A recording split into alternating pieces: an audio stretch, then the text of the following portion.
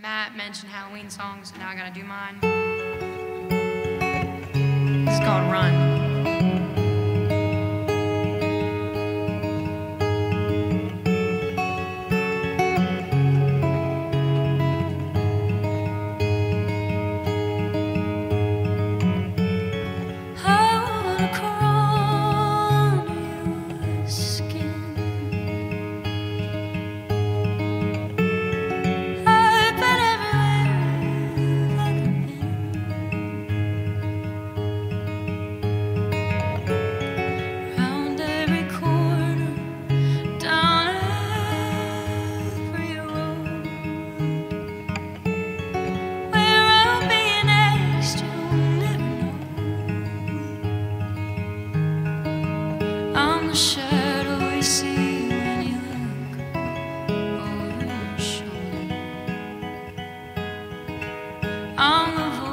praise you.